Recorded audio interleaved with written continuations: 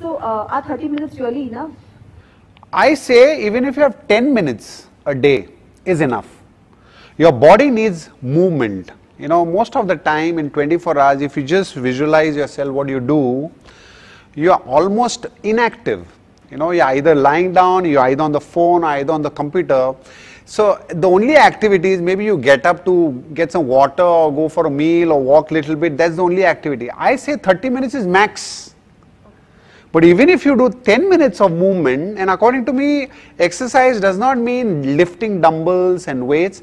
Exercise means movement. Anything where your body is moving, and I would say anything for 10 minutes of movement, conscious movement, where your body and your mind is together and is programmed, that is enough. That's so true. That's why we have so many different kinds of machines at ABS which are just not focused on lifting weights, Yeah. but you know, just a whole body movement. Yes, and then this 30 minutes you can actually program it by saying, okay, 10 minutes I can walk, 10 minutes I can do freehand exercises, and 10 minutes I can do weight training. So you, if you and if you can combine all this together and maybe little stretches together in that 30 minutes, it's enough. It's more than enough.